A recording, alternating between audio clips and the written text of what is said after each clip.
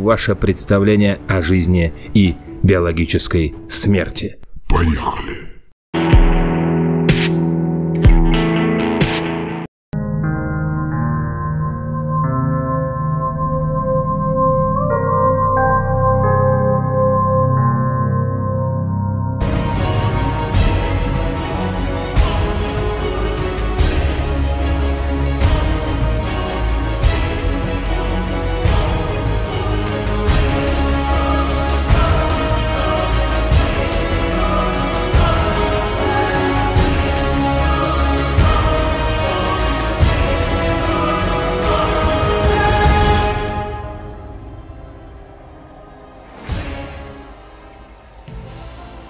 Здравствуйте, дорогие друзья!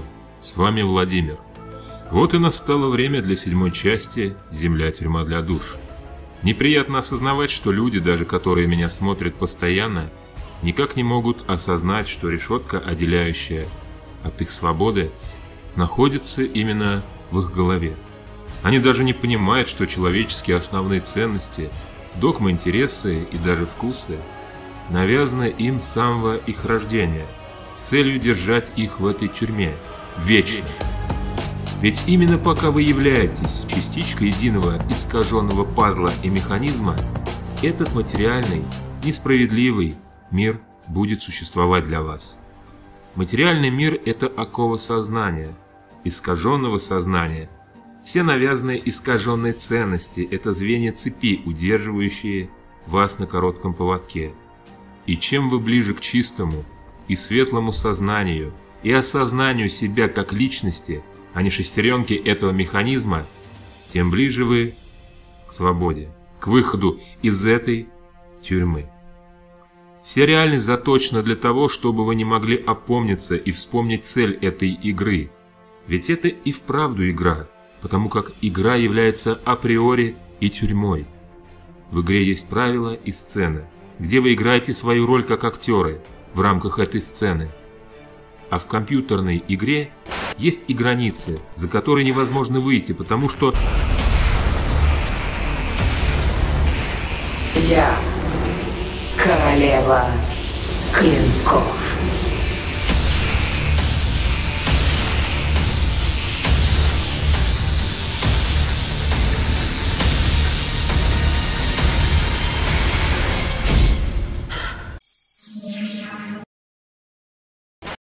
В то в числе Пи, записаны все произведения писателей, ваши номера домов и телефонов. Вы лично можете проверить это, найти свой номер телефона в точной последовательности.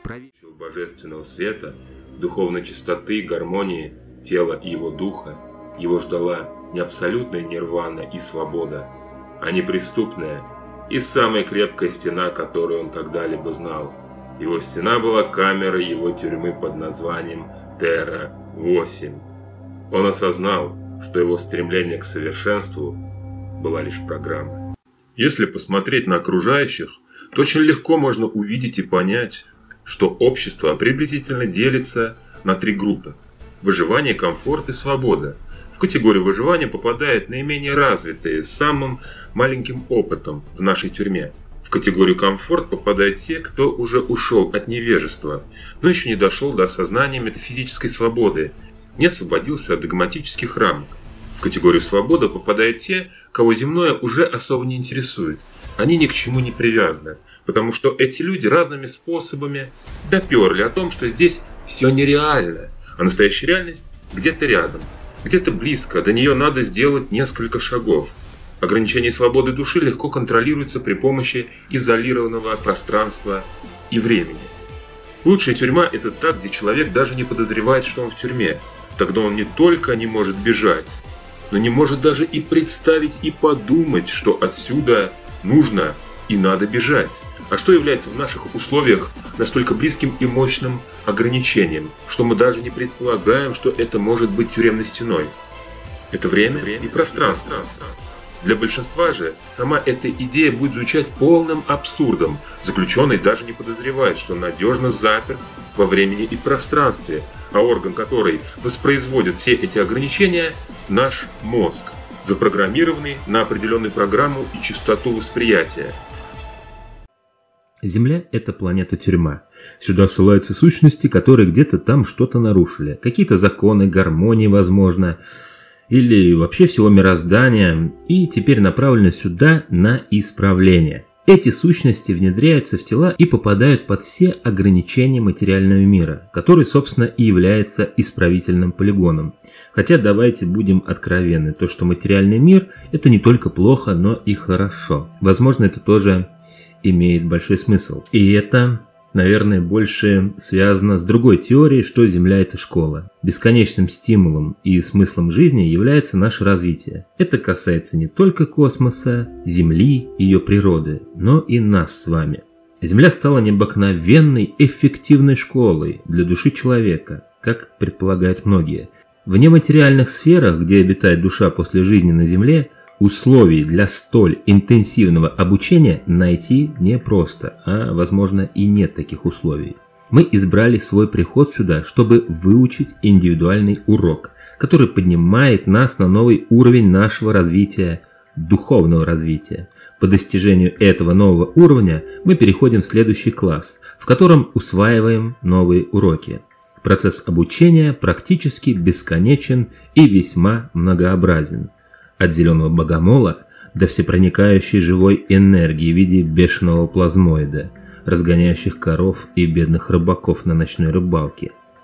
Понимание этого процесса может помочь нам перестать сравнивать себя с другими, делать какие-либо оценки своим современникам и ставить кого-то выше себя, или наоборот – у каждого свои задачи в этой жизни. У кого-то, наверное, ходить на яхте с шелковыми парусами, а у кого-то чистить мусорные баки от съестного. И оценивать свое превосходство над другими или наоборот. Вроде как бессмысленно. Так же, как мы не будем сравнивать первокурсника математического факультета с выпускником технического вуза. Или дядю Сережа, алкаша, который не вылазит из зомбоящика, и человека, который узнал многие тайны мира, например, Давида Айка, гоняющийся за ящерами-людьми в шапочке из фольги. Вообще, вы, наверное, поняли, что я ставил несколько саркастический текст во вроде бы нормальную такую информацию, которая принимается легко, и если ее не применять к отдельному человеку и принять такое очевидное слово и понятие, как справедливость, то не все так гладко. Вот истинное, ценное понимание жизни, самое правильное – это справедливость. Все видео в дальнейшем будет основано на двух этих понятиях – сарказм и справедливость. Все очень просто. Каждый находится на своей ступени развития в своем классе и усваивает свои индивидуальные уроки бытия и вечности – кто-то, наверное, усваивает это с помощью Хеннесси и белого порошка в джакузи, а кто-то, получив по морде в подворотне. Если разница, я не знаю, судите сами. Есть также такие занимательные гипотезы, что Земля это или рай, или ад. Я их, конечно, исключу, хотя для отдельных индивидуумов, наверное, так оно и есть. Кому-то рай земной, а для кого-то клоака полная. Земля, школа и тюрьма. Эти две теории конфликтуют между собой. Вообще забавно наблюдать, как человек пытается определить свое место в природе. Зачем он здесь? Почему, какого черта он вообще живет в этом мире? Я вряд ли думаю, что какой-нибудь броненосец, кенгуру или коала об этом думает. Это, наверное, свойственно только человеку. Но его мнение даже одного единственного человека может меняться. Все зависит в каком ты, он, состоянии находишься. Все у тебя хорошо, ты счастлив и думаешь, да, да, это рай земной. Плохо тебе, ты начинаешь задумываться, а за что мне это? Вспоминают Господа, думают о суициде, идут в церковь за помощью, если ты, конечно, религиозный человек и веришь, что некая сущность наблюдает за тобой, или искать проблемы в себе, в самом себе, копая в своей голове или душе, перебирая что и где, ты не так сделал, может это карма какая. Хотя это свойственно и тем, и этим. Кто-то сваливает на других все свои проблемы, кто-то на правительство, государство. Ну и, конечно, самое распространенное – это объединить все эти вражеские силы, настроенные против тебя, включая самого себя, в некий конгломерат объединенных сил тьмы, включая опять же себя или то, что тебе мешает. твоей свободе мысли. Все виноваты. Я, ты, он, она. Вместе дружная семья. Ну, не получается так, к сожалению. Далеко мы не дружная семья, можно сказать, мы разделены на разные небольшие группы по интересам. Если бы было так, что мы все дружная семья, мы бы, наверное, не участвовали в разных войнах не только на мировой арене, но и даже на ограниченном участке, например, в своем районе, подъезде и даже в одной комнате, вроде бы с близким тебе человеком, который был близкий еще вот секунду назад. Почему так? Почему человек так высоко поднялся в технологиях, в отличие от любых животных, которые не могут просто, например, бросить камень или придумать палку-копалку, посадить дерево? Я не говорю про речь, язык и все доступные примеры эволюции для любого самого отсталого человека, который для любого животного это роскошь. Человек, Homo sapiens, практически за короткий промежуток создал новый мир, виртуальный мир. Это я считаю пока вершиной, то, что человек достиг. Но при этом, что касается взаимоотношений друг к другу, человек к человеку, он так близко к животным.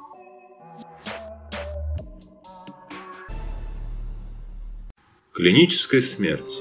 Во время клинической смерти люди видят разные картины. Многие человеки с Юго-Восточной Азии в своих видениях клинической смерти видели картины, соответствующие буддизму и их культуре, а европейцы, соответственно, картины, соответствующие своему мировоззрению. Человек из племени Массай видел свое представление о загробном мире, индеец в Северной Америке – свое – Серьезные исследования переживаний клинической смерти начались в 1970-х годах, когда Свет увидел книги известного американского психолога Раймонда Моуди «Жизнь после смерти» и ее продолжение «Размышления о смерти после смерти». Автор изучил и проанализировал 150 случаев клинической смерти и сделал впечатляющие выводы. В секунды остановки сердца Души людей покидают телесную оболочку и посещают мир иной, где их встречают ангелы, умершие родственники и друзья. При этом многие случаи клинической смерти не сопровождаются ничем сверхъестественным. Так один из реаниматологов Москвы, Ранд Багдасаров, уже 30 лет возвращавших людей с того света, утверждает, что за все время его практики ни один из его пациентов во время клинической смерти не видел ни свет в туннеле, ни ангелов, ни чертей. Судя по этой информации, а также многим письмам, которые мне приходят, далеко не все люди видят ангелов, чертей и даже туннель. В 1975 году в США вышла книга, состоящая из рассказов людей, которым удалось пережить клиническую смерть. Издание мгновенно стало бестселлером. Читатели с удивлением замечали, что все рассказы о смерти схожи между собой. Многими это было воспринято как доказательство существования загробного мира. Так эти люди рассказывали, что в какой-то момент их душа вышла из тела и взлетела к потолку. При этом они видели суетящихся врачей и слышали их разговоры. Еще один характерный образ – полет по узкому туннелю, в конце которого сияет яркий свет. Все очевидцы утверждали, что свет нес с собой добро и счастье, наполняя душу неведомым покоем. Дальше показания людей обычно разнились. Кто-то встречал ангелов, кто-то видел давно умерших родственников. Некоторые просили отпустить их жить дальше, другие хотели остаться в загробном мире. Если чувство отлета души от тела и полета к свету характерно для людей всех национальностей и культур, то дальнейшее событие во многом зависит от религиозных убеждений человека и его представлений о добре и зле. Первые исследования проводились преимущественно среди американцев, поэтому воспоминания воскрешенных людей схожи между собой, однако рассказы представителей других культур могут значительно от них отличаться. Что же нам говорит наука? Современная медицина отрицает как существование души, так и возможность загробной жизни. Ученые по-своему объясняют видение умирающих. Например, туннель люди видят вследствие формирования тоннельного зрения в результате гипоксии мозга. Яркий свет проявляется в результате иных изменений в мозгу в процессе умирания. Ощущение счастья и покоя ученые связывают с выбросом гормона серотонина, который происходит во время клинической смерти. А все остальные околосмертные переживания ученые считают обычными галлюцинациями. И с учеными трудно спорить. Почему вы спросите? Да потому что подобное видение и ощущение счастья, измененного сознания, испытывает наркоман. И чем сильнее наркотики, тем сильнее у человека меняется его картина перед глазами и его ощущения. Все это очень сильно взаимосвязано с нашим главным органом мозгом. Он проецирует нашу реальность. Химия и мозг. Серотонин часто называют гормоном хорошего настроения и гормоном счастья. В определенный момент, когда вам это нужно, идет заправка серотонином. Потому что создатель этой игры там ничего не создал. Там пустота и хаос, разделенных ноликов и единичек. И только знающий божественный алгоритм и исходный код создает эту реальность в одиночестве и только для себя. Общий же для всех алгоритм очень прост. Это коллективное сознание, как огромный мозг большого механизма под названием «человечество» определяет свое дальнейшее будущее и пишет себе реальность. Хотя, что такое реальность? Это та же самая иллюзия, подкрепленная уверенностью, что это реальность. Это визуальные картинки перед глазами, тактильное ощущение и чувство. Но все связано с одним аппаратом – главным устройством в человеческом теле, самым защищенным от любых внешних воздействий. Это мозг. Именно он дает эту иллюзию и реальность. Мозг – орган, контролирующий все процессы тела. С помощью нейронной сети он руководит телом подобно дирижеру, указывая, что и какому органу нужно сделать. Но также это механизм удержания нашего «я», нашей души, это сложный аппарат, который принимает сигналы от операторов системы.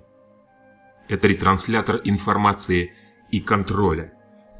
Через него вами управляют и имеют над вами полную власть. Захотят, и вы превратитесь в беспомощного паралитика или незрячего, и вы ничего не сможете этому противостоять, иногда даже умертвить себя.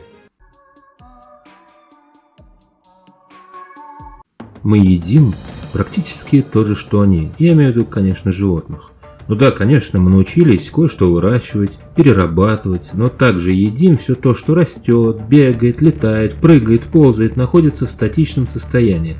Мы также грыземся, как стая волков. Да что говорить, некоторые животные, как я думаю, в развитии взаимоотношения стоят как минимум на одном уровне с человеком. Хотя какое у них развитие, они всегда такие были.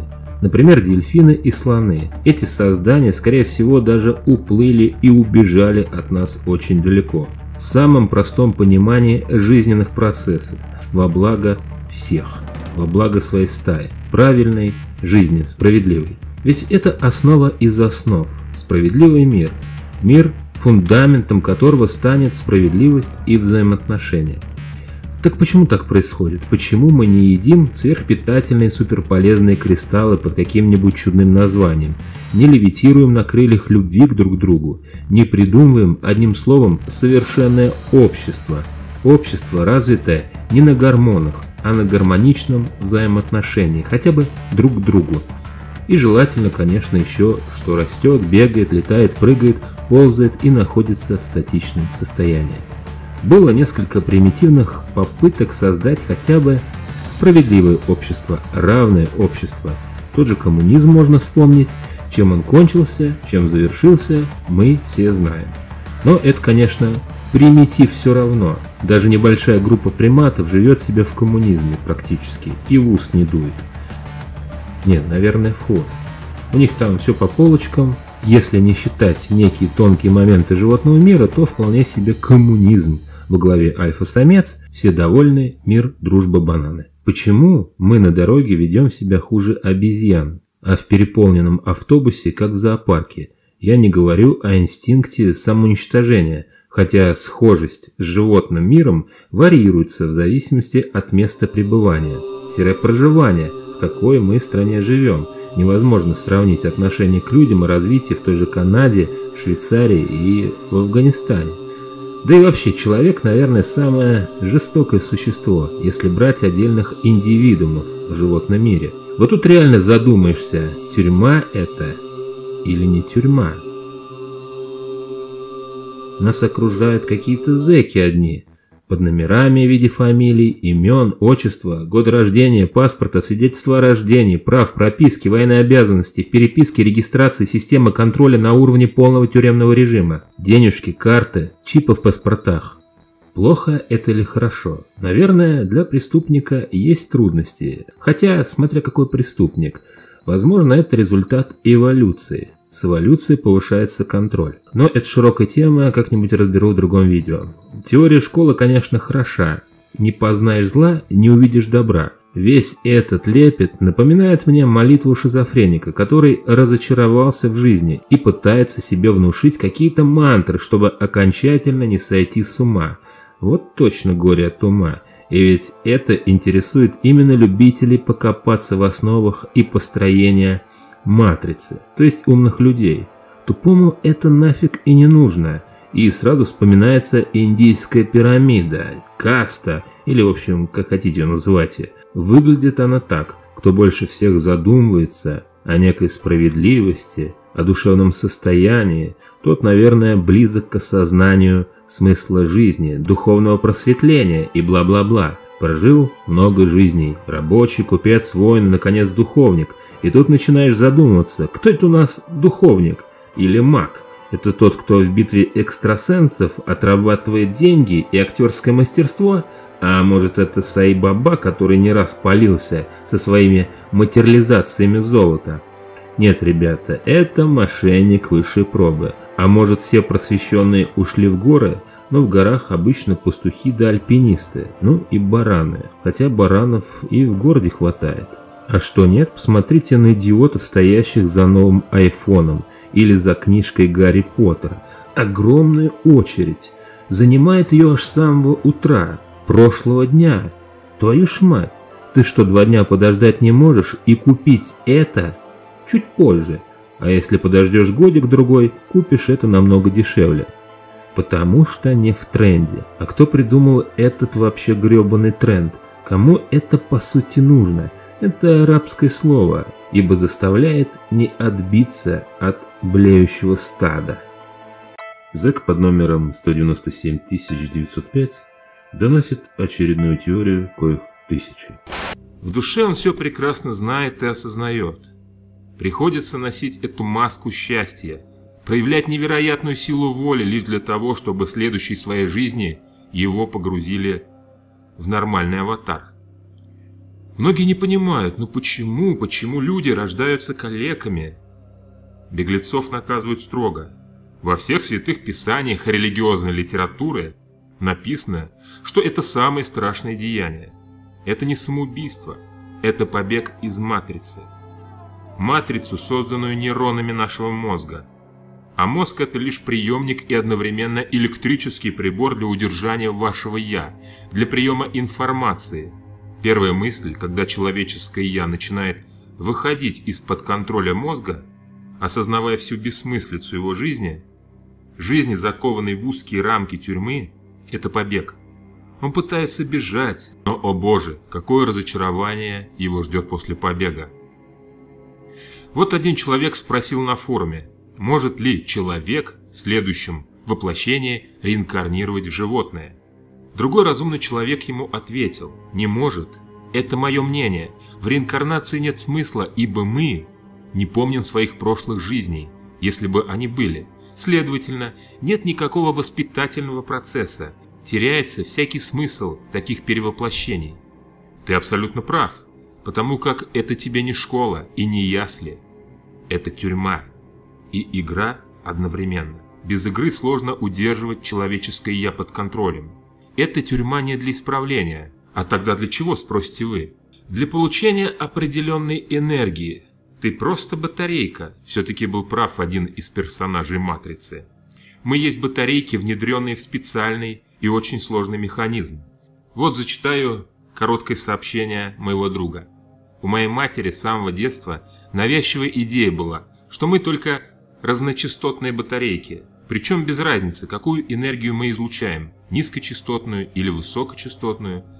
Пользуется спросом в космосе и та, и та с одинаковым успехом. Причем после того, как ты становишься высокочастотной батарейкой, то тебя переводят в соответствующей твоей частоте планеты. В часть космоса, где все такие, и откуда идет сбор именно такой энергетики. И так далее, и тому подобное.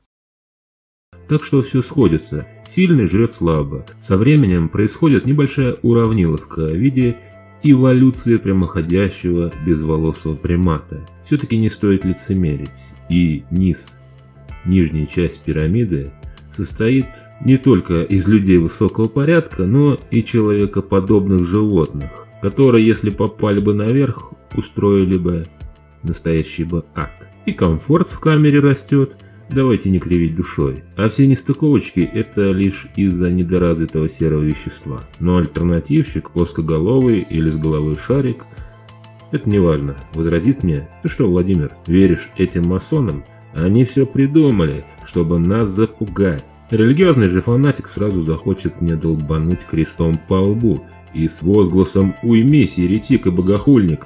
Начнет мне читать заповеди, притом не забыв потом взять с меня за это компенсацию в виде бумажек с всевидящим ока. Сговорились, сволочи, уйду-ка я в ряс. Но не хочется, матрица держит меня за разные части. Ведь мало, какая самка согласится собирать со мной грибы. Это все, парни, это все, это какая-то...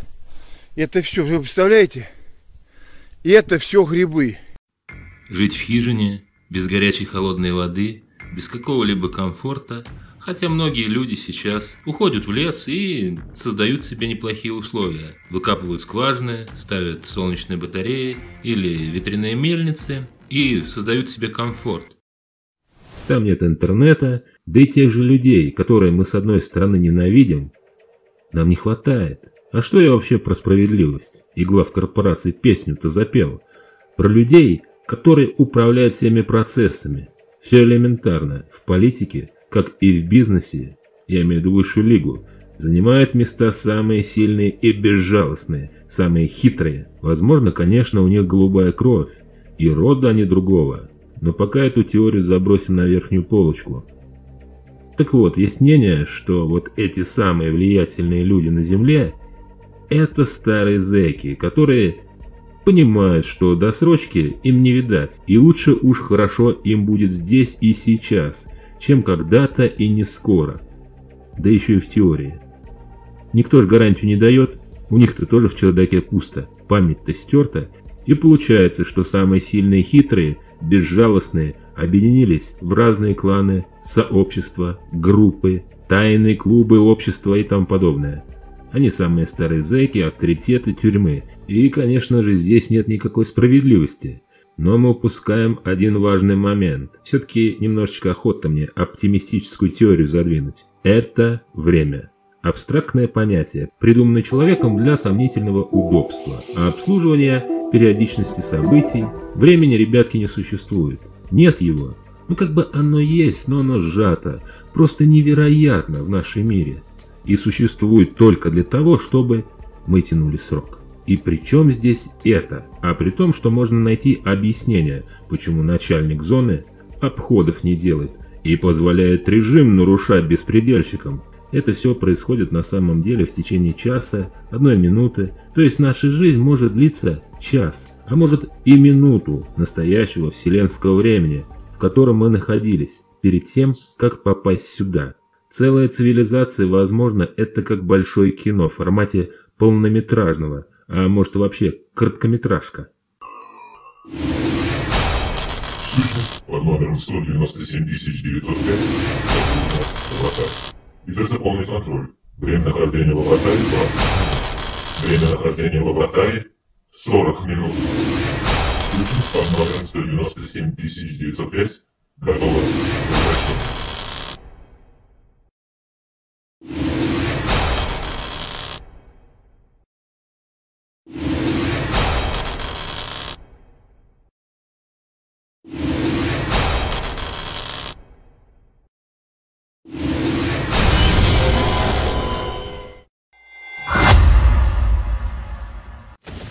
А что, мы в игры, в стратегии играем, целые вселенные строим за пару часов.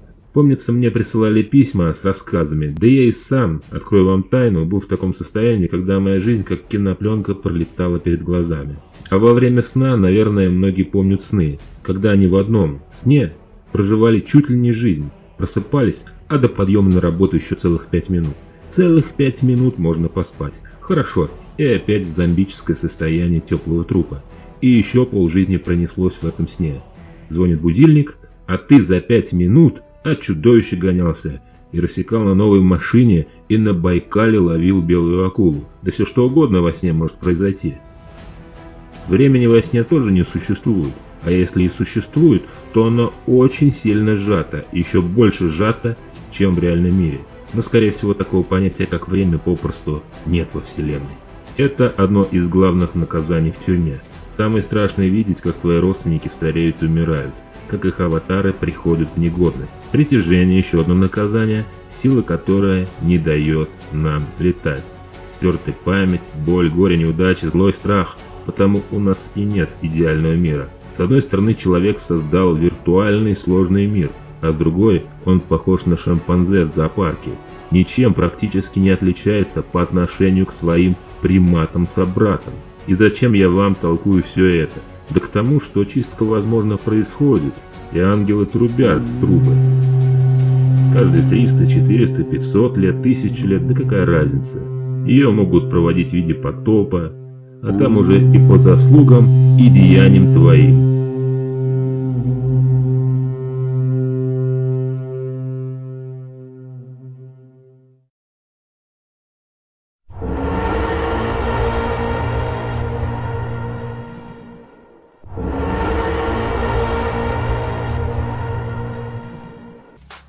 Система создана из нескольких тысяч кругов.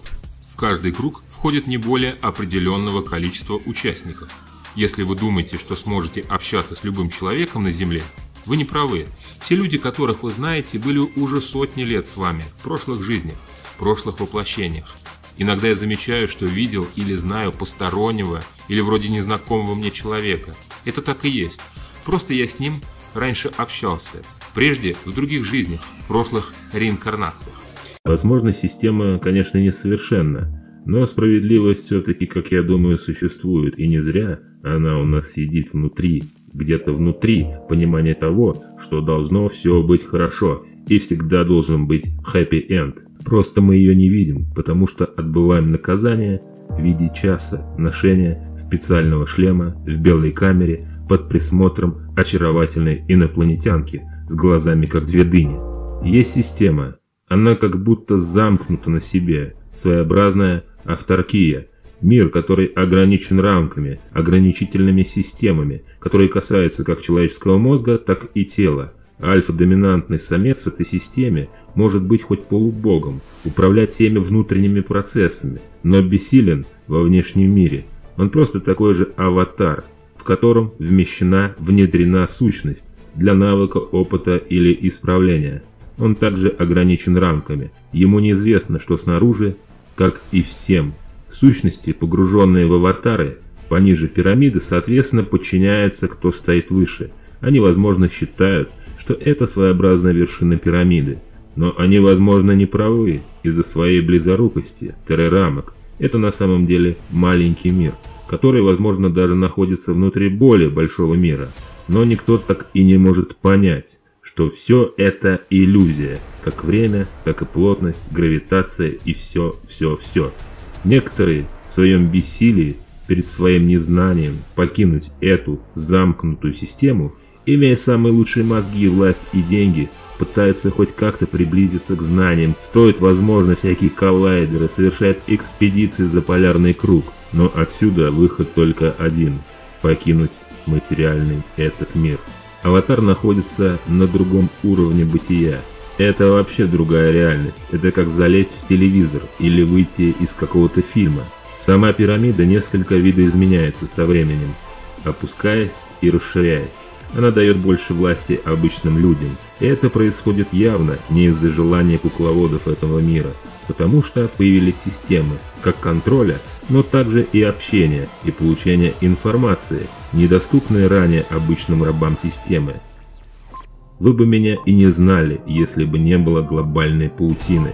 Сейчас каждый школьник гипотетически может стать популярней и влиятельней президента и даже иметь власть над умами людей больше, чем многие религиозные деятели. На этом я и закончу. Слава труду, красному знамени, мир, дружба, жвачка, напсаран. Пока.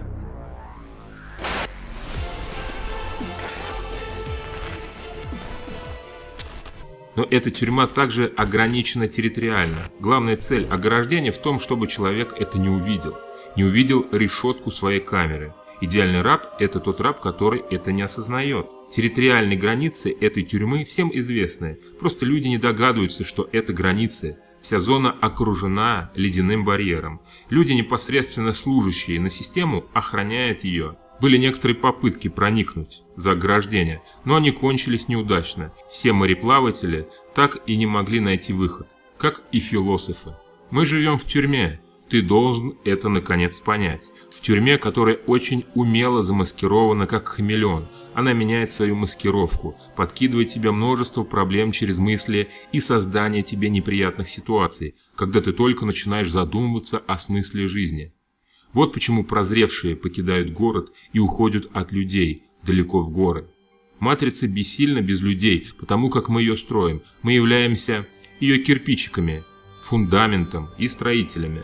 Человек в одиночестве отделяется от системы, обрывает связь с обществом и, соответственно, матрицей. Он уже не подконтролен, практически. Мы рождаемся рабами. Жизнь каждого человека расписана и запланирована системой с самого его рождения – Каждая секунда твоей жизни записывается и контролируется. Каждый человек рождается, его ведут в детский сад, потом он идет в школу, где ему прививаются социальные понятия и нормы. После чего каждый получает образование, устраивается на работу, строит карьеру, рожает детей, уходит на пенсию и нянчит внуков. А потом уходит, чтобы опять прийти. Это горизонтальный вектор, точнее замкнутый цикл, в котором существовали многие поколения. Это замкнутый круг, не имеющий альтернативы. Но если ты вдруг решишься не следовать вышеописанной колее, тебе в жизни придется несладко. Ты будешь изгоем, белой вороной, и система будет при любом удобном случае напоминать тебе, что ты ущербный, неполноценный относительно ее. Будешь в системе и будет тебе все хорошо. Она даст тебе и хлеба, и зрелищ. Только за души откажись от здравомыслия и честного видения всего, что происходит вокруг. Отдай системе свои глаза, и она примет тебя как родного и будет вести тебя до самой смерти, давая надежду на лучшее и поддерживая в тебе жизнь. Единственное, что нужно системе, это твоя индивидуальность. Индивидуальность системе этой матрицы вообще не нужна. Индивидуальность порождает посторонние, неправильные мысли для системы. Ты начинаешь теряться в ней, выходить за рамки, покидать свое стадо. А вот теперь я попытаюсь вам объяснить, почему это все происходит. Держитесь покрепче в своих креслах. И, как всегда, я говорю, что это теория коих тысячи.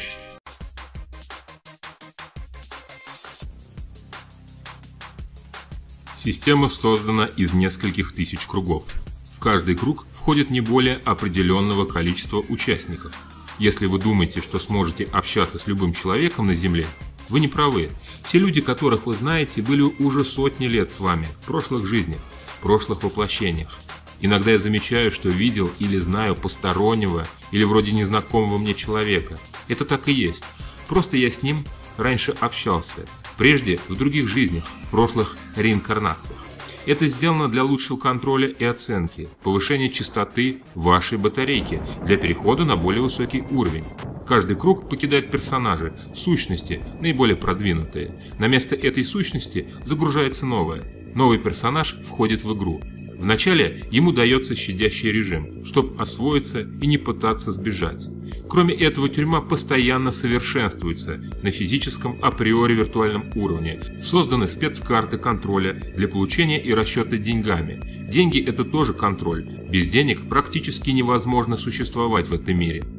Тому доказательство бомжи, выбывшие из системы. В следующих жизнях они будут жестко наказаны. Сначала были созданы паспорта. Это дало возможность избавиться от рабства. Система постоянно старается улучшить комфортные условия для своих батареек.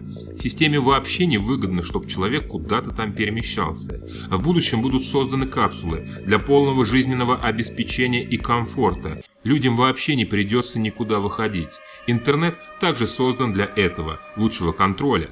Через гаджеты, компьютеры и мобильные телефоны в соцсети люди загружают свою информацию, и чтоб человек меньше покидал свое место, тратил попусту энергию.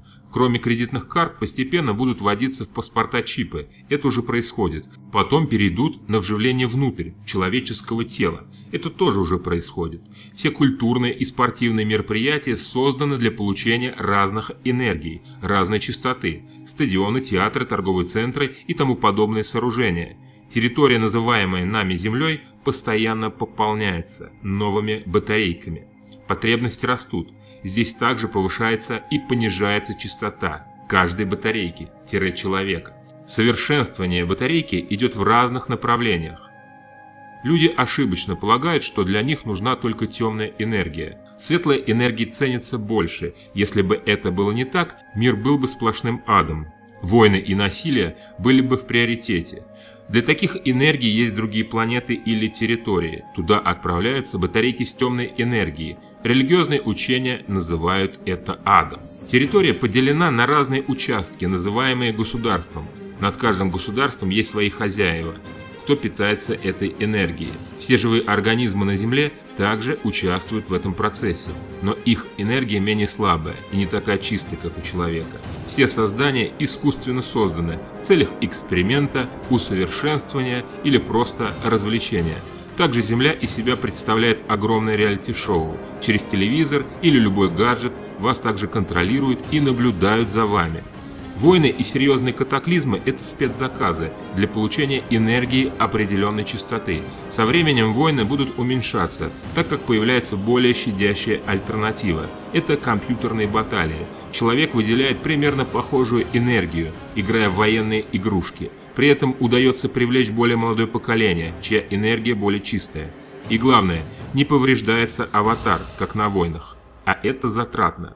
Также люди служат как аватары для внедрения высоких сущностей. Цель – развлечение, получение удовольствия. Тому примеры некоторые звезды и политические деятели. Самый реальный пример – это Александр Македонский, Цезарь, Иисус и современные – это Майкл Джексон, Элвис Пресли и множество других мегазвезд. При заселении хозяина аватара подавляет более продвинутые сущности. Бывают и пиратские захваты, отсюда непонятные действия человека. Есть даже практика удаления под названием экзорцизм. Система не совсем совершенна. Отсюда появляются духи, так называемые фантомы, которые остались без своего аватара. Но через определенное время идет очистка системы от таких сущностей, и их погружают в новый аватар. Все НЛО – это дополнительный контроль. Делается облет территории. Контроль в основном осуществляется для охраны от проникновения на Землю сущностей высокого порядка и существ с других территорий. Тому пример события в Челябинске, названное Челябинским метеоритом. Наш мир является более примитивной копией высокого мира. В дальнейшем человечеству будет позволено иметь собственный мир, когда компьютерная сеть свяжет всю территорию. Технологии виртуальных очков 3D – это только самые азы, самое начало глобального процесса в будущем. Персонажи игры получат те же ощущения, что и человек здесь. Человек сможет загружаться в персонажей игры и строить свои собственные миры для получения энергии, которая в свою очередь будет уходить им. Сбежать из тюрьмы практически невозможно, но возможно были попытки и даже удачные. На самом деле процесс побега кажется простым, но он практически невозможен. Он хорошо продемонстрирован в фильме «Матрица». Ты просто должен осознать, что этот мир нереальный. А якобы нереальный мир, он как раз и есть реальный твой мир. Сущность, покинувшая территорию, становится свободной и подконтрольной только себе.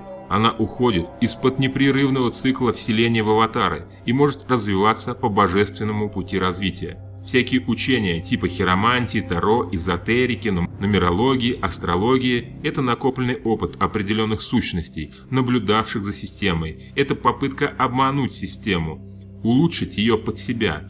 Это имя не приветствуется, потому были проведены карательные меры. Вспомнил Святую Инквизицию, хотя все это зависит от личного отношения хозяина той или иной территории, то есть страны. Религия создана при непосредственном участии этих существ, так как энергия, получаемая ими из спецсооружений, называемых храмы, более мощная.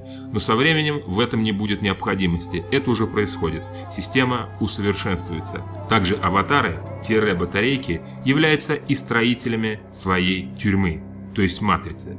С вами был Владимир, не забудьте поставить палец вверх, если вам видео понравилось. Так чему я вам все это рассказывал про клиническую смерть и как она связана с тюрьмой?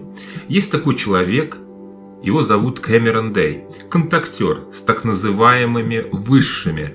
У меня есть две части видео на канале, ссылки на них я размещу в комментарии. Так вот этот человек говорит, что все эти видения по типу туннеля, ангелов, демонов транслируются с помощью неких технологий, чтобы нас не отпустить на волю. Зачитаю несколько выдержек из текста. Внутреннему, голографическому миражу присуще представление, что двойственность и полярность являются естественными аспектами жизни, и что мы должны служить одной или другой стороне двойственности.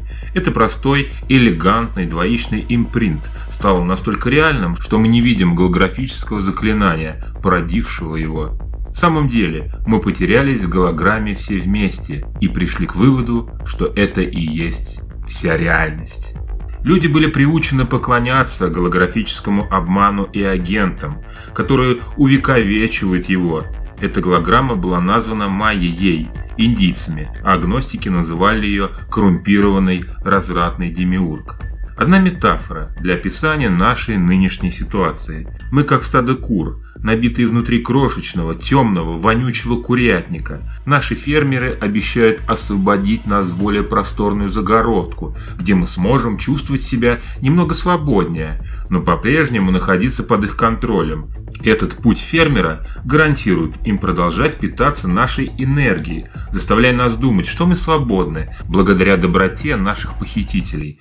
Перед тем, как зачитать еще одну выдержку, я хочу вам напомнить, что есть такое мнение – что каждый имеет физическое тело и бестелесную душу. Эзотерики и даже ученые открыли такой фактор, что у человека имеется несколько тел. Помимо физического есть и тонкие тела, которые в свою очередь делятся на эфирное, астральное, ментальное. Любое из этих тел обладает энергетическим полем, которое при объединении с тонкими телами образует ауру или как ее еще называют, биополе. Что касается физического тела, то его можно потрогать и увидеть. Это тело наше осознанное, как мы считаем, так называемый аватар, который дается нам при рождении на определенный промежуток времени. Если вы действительно верите в небеса, то это, как правило, включает в себя белые облака, яркие огни, горные вершины – так вот, доктор Александр – это человек науки и медицины. Он утверждает, что побывал по ту сторону бытия, и сейчас он вернулся оттуда, чтобы рассказать, на что же похожа на самом деле жизнь после смерти. Что вы увидели там? Что почувствовали? Вы видели Бога? Вы так утверждаете? Да. Вы были верующим до этого? Раньше я не верил вообще ни в Бога, ни в Его любовь ко мне. Ну а теперь что пишет Кэмерон? Основной инструмент, который они используют для манипулирования над людьми, чтобы сущность согласилась на почти бесконечное количество перевоплощений, является ложный обзор в свете. Когда тело человека умирает, его дух выходит в астральные сферы и начинает изливать большую часть своего личного, ранее накопленного света. Если бы этот процесс не прерывался – Истинный свет этого существа, изливаясь изнутри, высвободил бы слой за слоем все ограничивающие убеждения, полученные в этом воплощении. Тем не менее, в пределах сферы демиургической системы управления происходит то, что паразиты перехватывают свет, который начинает появляться изнутри духа, и отражает его в ослепительной демонстрации красочного внешнего света – вот почему большинство людей с опытом клинической смерти сообщают о движении через туннель света. Ослепительное внешнее шоу отвлекает внимание духа от света, выходящего изнутри него самого, и гипнотизирует его через частоты увлечения и активации всех религиозных доктрин программирования, которым люди были подвержены во время их воплощения. Члены духовной иерархии лжи, такие как архангелы, ангелы и вознесенные владыки, часто будут присутствовать в фоновом режиме во время этого процесса – если человек наполнен чувством всеобщей любви и единства, они говорят, что это чувство приходит от внешних существ, которые вокруг него. Тем не менее, это чувство всеобщего единства и любви на самом деле выходит изнутри самого человека и отражается обратно от паразитов иерархии лжи. Индивидууму не дают времени, чтобы подумать о том, что происходит, потому что они быстро переводят его в фазу обзора жизни. Они показывают маленькое кино из его жизни, которое все о разочарованиях, несбывшихся желаниях, болезненных переживаниях и вреде, который человек испытывал во время своей жизни. Благодаря этому предвзятому и хитрому обзору жизни у человека появляется чувство, что он плохо прожил свою жизнь, что им и нужно. Они говорят человеку, что даже если ему не удалось столь многих вещей в его жизни, они предоставят ему возможность вернуться еще раз и сделать все правильно в новом воплощении. И бедный человек благодарен за этот шанс. И для выкупа долга принимает соглашение, по которому работник системы предоставляет ему шанс воплотиться снова. Если этот человек был воспитан в христианстве, перед ним предстает Иисус и ангелы, ему будет сказано, что он недостоин того, чтобы войти в Царство Небесное. Конечно, страх быть отправленным в ад настолько силен во всех системах убеждений, что люди хватаются за возможность перевоплотиться и стать достойными, войти в Царство Небесное, которое на самом деле Царство Демиурга, оккупанта.